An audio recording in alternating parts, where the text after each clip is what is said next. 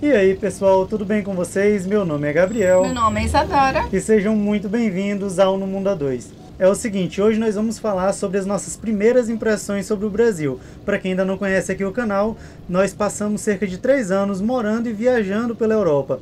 E quando nós mencionamos que estávamos passando aqui pelo Brasil, tanto o YouTube quanto o nosso Instagram encheu de perguntas para a gente falar sobre as diferenças, sobre as primeiras impressões.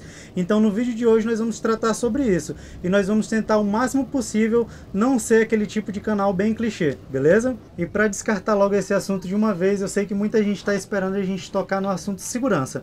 É fato de que o Brasil, infelizmente, ele peca no quesito segurança.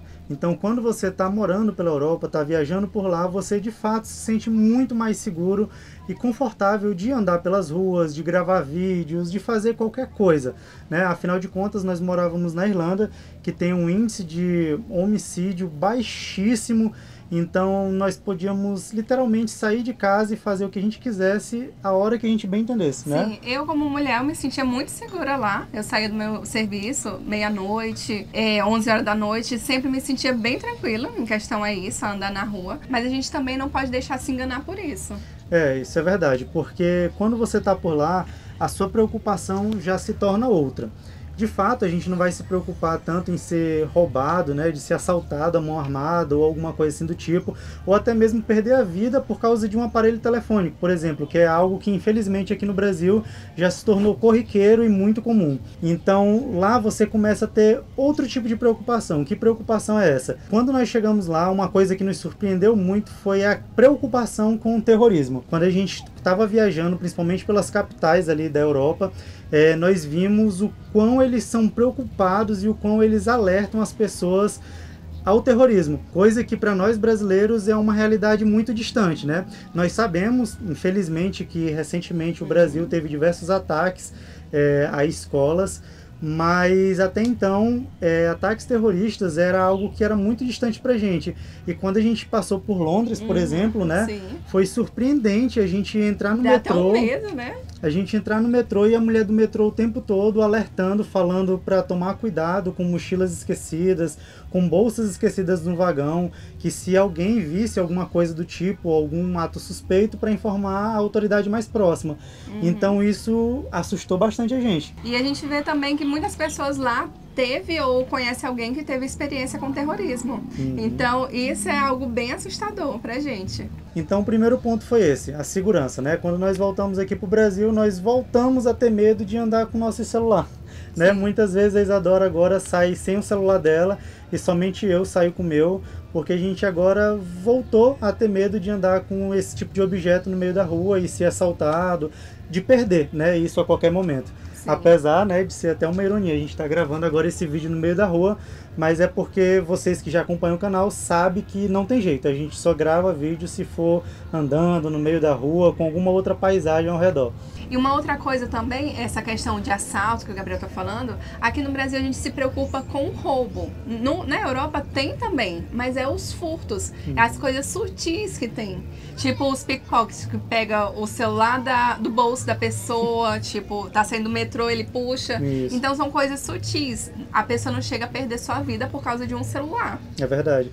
É, isso é muito comum quando você está em atrações muito turísticas por lá, da polícia ficar passando o tempo todo entre os turistas, ou aviso sonoro, ou placas, é, informando para você tomar cuidado com esses pickpockets, porque eles estão presentes muito nesses lugares em que as pessoas estão ali né, admiradas com a paisagem, com o cenário, e aí muitas vezes é aí que vão perder o seu celular, seu dinheiro, passaporte e por aí vai. Sim, e na Europa também tem um famosinho chamado golpes. Então tem muitos golpes pela Europa. Nós já caímos em um golpe e quem diria que, a gente iria cair num golpe? Porque foi um, um, um senhor, um idoso, duas crianças e um cachorro.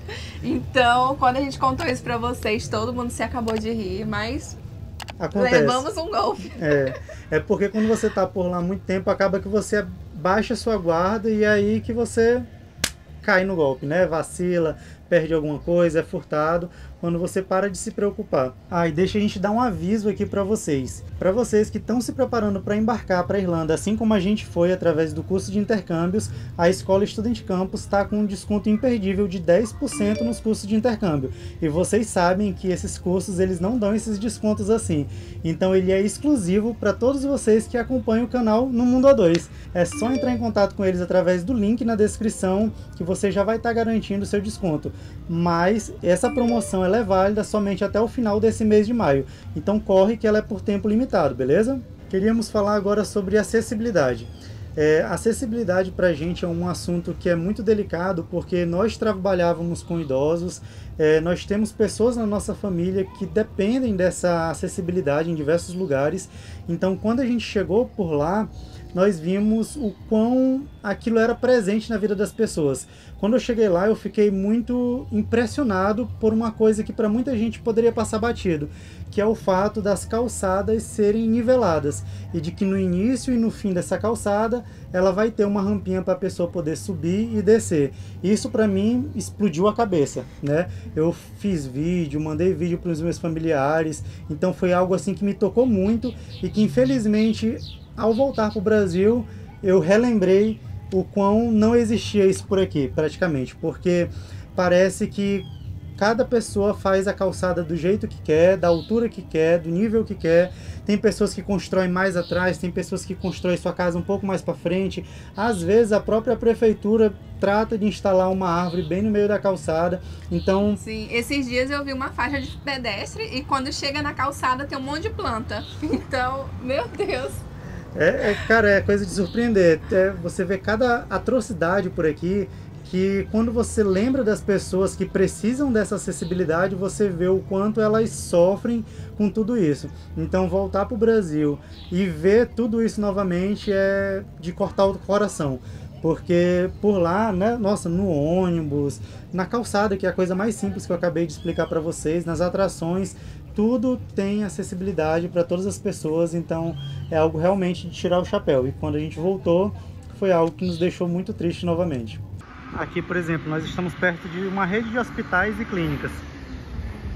Acessibilidade para nada, nada, absolutamente nada falar sobre uma coisa que muitos de nós brasileiros só damos valor quando a gente precisa de verdade ou quando a gente sai do nosso país e vê o quanto isso era importante aqui que é o Sistema Único de Saúde do Brasil, o SUS. É uma situação muito complicada quando a gente está lá fora e vê o quão a população europeia, no geral, né, é, acaba sofrendo por não ter um sistema de saúde pública assim como o Brasil tem. E aí muitas pessoas vão questionar, falando assim: ah, o sistema deles é particular, mas pelo menos eles têm um serviço de qualidade rápido.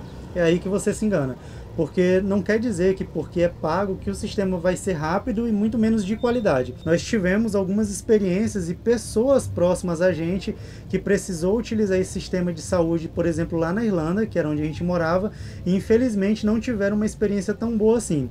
A primeira, a demora, que apesar de você estar tá gastando literalmente rios de dinheiro para poder ter saúde, não significa que você vai ter um atendimento tão rápido assim.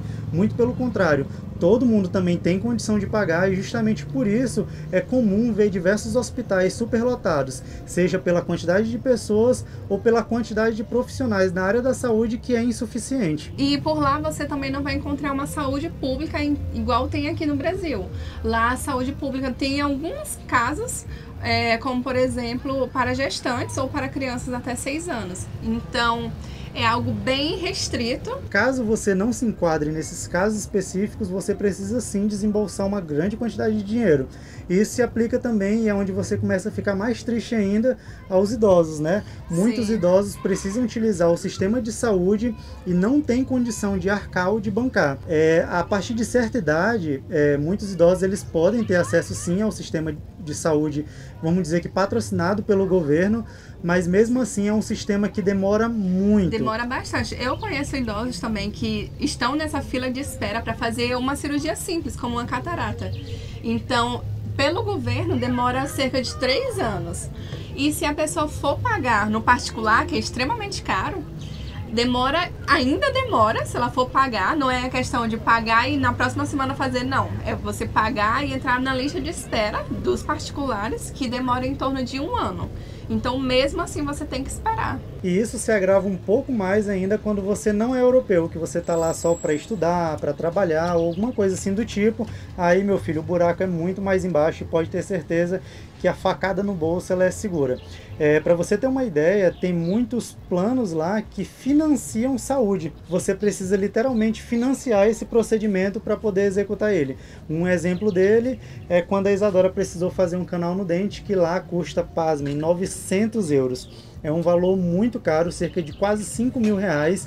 Na época chegava a passar de 5 mil, na verdade, para fazer um canal. Então saiu mais barato para a gente vir para o Brasil ano passado, fazer esse procedimento aqui particular e voltar para a Irlanda novamente. Sim, e quando você chega no consultório, o que tem lá escrito na, nos panfletos é só os financiamentos. Então é muito engraçado, não é nem um plano de saúde, é o financiamento. E para vocês verem, o SUS ele é um sistema universal. Isso significa que se um estrangeiro vier para o Brasil e precisar utilizar o nosso sistema público de saúde, ele vai ter direito e ele vai ser atendido assim como nós brasileiros somos atendidos nesse sistema. É, atualmente nós estamos aqui no Brasil há cerca de um mês e nós estamos utilizando bastante o SUS. Cerca de 85% de todos os exames e procedimentos e vacinas é, nós estamos tendo graças ao SUS, tudo de graça, Sim. através dos postinhos, dos hospitais, não é verdade? Sim, e uma dica também para os viajantes, para quem vai viajar para a Irlanda ou para qualquer outro lugar. Existe um programa chamado Saúde do Viajante, então nós vamos deixar o link aqui para vocês, para vocês se informarem de tudo, todas as vacinas que tem que tomar, tudo que tem que fazer e quais os exames tem que fazer também antes de deixar o país, né? E nós tivemos um problema com a vacina do Gabriel, que foi a de febre amarela, não foi? Foi, isso mesmo. Porque ele tomou a vacina em 2016, se eu não me engano, e lá não tinha um lote da vacina. Aí ele teve que tomar de novo a vacina, e olhamos tudo certinho, o lote, a data, a assinatura do enfermeiro. Por quê? Porque ele tem que tirar um certificado digital, não é? Certificado internacional de vacinação. É, aí sem esse lote não tem como emitir. Então já é uma dica que eu deixo para vocês. Então é isso, esse foi um ponto muito a favor do Brasil, que nós sentimos muita falta e que é muito bom estar tá aqui novamente e ver todo esse sistema funcionando.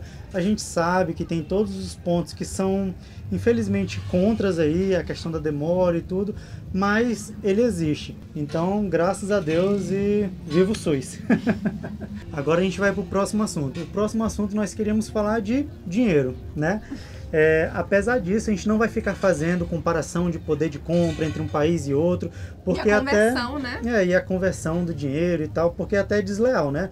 Vocês já sabem que realmente as coisas lá pela Europa é realmente muito mais barato, muito mais acessível e o poder de compra que eles têm por lá é outra coisa, principalmente quando a gente está falando num país como a Irlanda, que é um dos países com o maior salário mínimo da Europa. Então vocês sabem, vocês já acompanham o nosso canal, vocês sabem o quão a quantidade de poder de compra que nós tínhamos quando nós morávamos na Irlanda, né? Quando a gente ia no supermercado, o nosso, a nossa compra da semana nunca passava dos dois dígitos, né? Era sempre cerca de 60, 60 70, 80. isso. É. Nessa faixa aí, né? Nossa compra da semana todinha. E a gente fazia isso, graças a Deus, com menos de um dia de trabalho. Né? Então era um poder de compra extraordinário que nós tínhamos. E chegar aqui no Brasil e perder esse poder de compra novamente foi, alguma, foi uma coisa assim realmente muito chocante e algo muito triste de se ver, né? Porque quando nós chegamos aqui, nós começamos a conversar com diversas pessoas e é impressionante as pessoas apontando os outros países aqui ao redor, né? Falando, olha como Cuba tá, como a Venezuela tá, e não percebem que infelizmente o nosso país, né, o Brasil, tá perdendo também esse poder de compra cada dia que passa e as pessoas estão tendo que gastar cada vez mais dinheiro para poder sustentar o básico. Então, o que eu queria falar para vocês, coisa assim que chocou a gente quando chegou aqui, foi de que quando a gente estava por lá, nós gastávamos geralmente tudo na casa da dezena, né? Era dificilmente a gente passava da casa da centena ali com alguma coisa. Só se a gente estivesse realmente comprando alguma coisa de muito valor agregado, é, como um celular, um carro, alguma coisa assim do tipo. E quando a gente voltou para o Brasil, cara, é muito difícil você, sei lá, sair para jantar e conseguir gastar menos que 100 reais. Acho que já começa em 100, né? É, tá surpreendente, cara, o, o, o quão as coisas estão tão caras aqui e você gasta tudo na casa da centena pro milhar já, né? Dificilmente você já consegue encontrar um celular legal, bom, é, por menos de mil reais. Então foi algo assim que nos deixou triste, né? De estar aqui novamente e ver essa realidade do Brasil. Nós sabemos que isso não é algo exclusivo do Brasil. Com esse pós-pandemia, o mundo todo sofreu com isso, mas a gente vê o quanto o nosso país está sofrendo. É, dias atrás a gente foi no supermercado para poder comprar algumas coisas para fazer um almoço e passou de 100 reais com uma facilidade tão grande. Sim. E, eu... e, o básico já tinha, então era só o complementar. Isso. É? Então eu fiquei assustado com isso e triste também saber que as coisas estão tão caras por aqui. Então uma dica que eu dou para vocês é faça o intercâmbio porque você vai conseguir comparar o que é bom, o que não é. E também quando você chega na Europa, você começa a sentir falta de coisas que nunca nem sentiu, tipo agora. Eu nem sabia que eu sentia falta de apreciar essa orla da cidade. E é uma coisa que fez falta quando a gente estava lá. é, então é muito bom para você sair do seu mundinho, sair até aqui, né, do seu país, desse mundinho que a gente vive e conhecer o que tem lá fora, desbravar o mundo e ter uma outra visão de mundo. E assim você poder montar o seu próprio ponto de vista. E a gente não fala para vocês fazer intercâmbio especificamente num país único você tem diversos países espalhados aí pelo mundo para você poder fazer intercâmbio. Nós fizemos intercâmbio na Irlanda por dois anos e continuamos no país através do visto de trabalho porque nós gostamos da experiência, nós gostamos de morar por lá. Então, ao nosso ponto de vista, a Irlanda é um país muito bom de se viver, de se trabalhar e te dá uma proximidade muito grande com toda a Europa, porque é muito fácil você voar de um país para outro custa cerca de 15, 20 euros. Então é uma ótima experiência para você que quer conhecer o mundo, beleza? Então, um grande abraço para todos vocês. Eu espero que vocês tenham gostado do vídeo de hoje. Fiquem com Deus e tchau, tchau.